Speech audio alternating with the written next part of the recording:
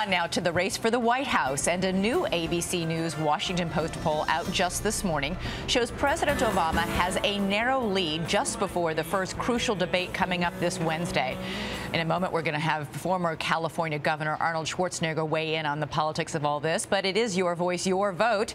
And ABC's David Muir is here now with the very latest on this poll. Good morning to you, David. Morning, Elizabeth. Great to see you. This is still a very tight race. In fact, our new poll shows President Obama leads by just two points among likely voters. Break out the key battleground states, and the president's lead does widen somewhat. And this morning, just two days before that big debate, who do voters think will win?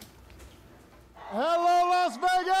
Overnight in Las Vegas, the president playing the odds, talking predictions about the first all important debate. I know folks in the media are speculating already on who's going to have the best zingers. No, no, Governor Romney, he's, he's a good debater. The president heading into days of intense debate practice, just as our new ABC News Washington Post poll shows him with that razor thin lead among likely voters. The gap does break wide open when voters are asked who they expect to win. 63% of voters told us they think the president will win in November. As for the all important debates, 56% say they expect the president to win.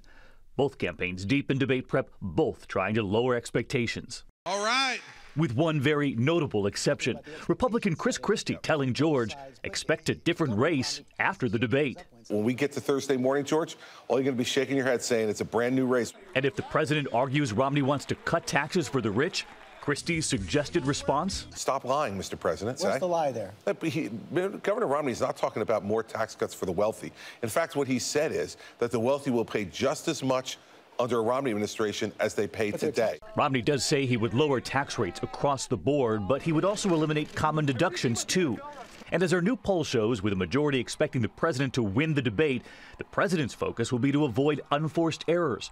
Like President George H.W. Bush back in 1992 caught checking his watch, or Vice President Al Gore taking that awkward step toward then Governor George W. Bush. And I believe I can. All right. So many believe that Al Gore had invaded George Bush's personal space right there. And we had some fun in our new ABC News Washington Post poll asking who would you like to see on Dancing with the Stars.